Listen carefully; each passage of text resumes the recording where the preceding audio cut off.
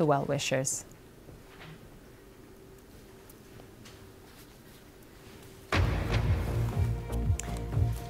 This is BBC News with the latest headlines.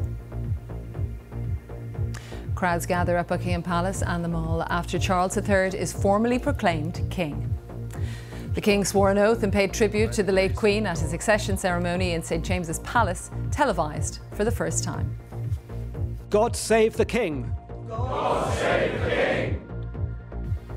The King announces a bank holiday across the UK for the day of the Queen's funeral. And senior members of the royal family greet crowds and view floral tributes at Balmoral after attending a private church service.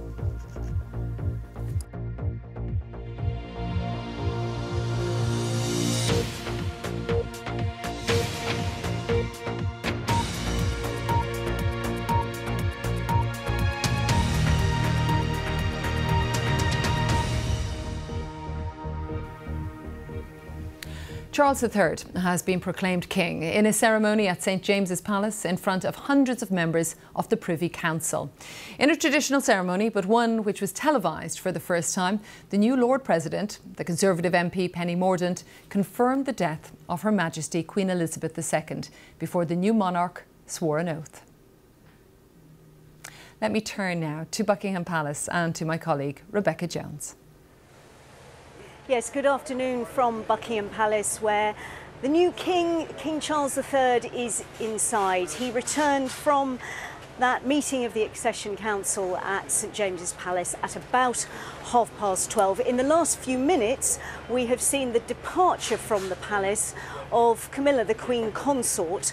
Uh, we did wonder, perhaps, whether the new king might come out and greet the sizable crowds uh, that are still here. There was a flurry of activity with various police officers uh, moving into position. The gates were opened. I've no doubt at all that the huge crowds that are here uh, would love him to come out and see them and uh, do a, a sort of impromptu walkabout, much like he did yesterday, where he greeted people here.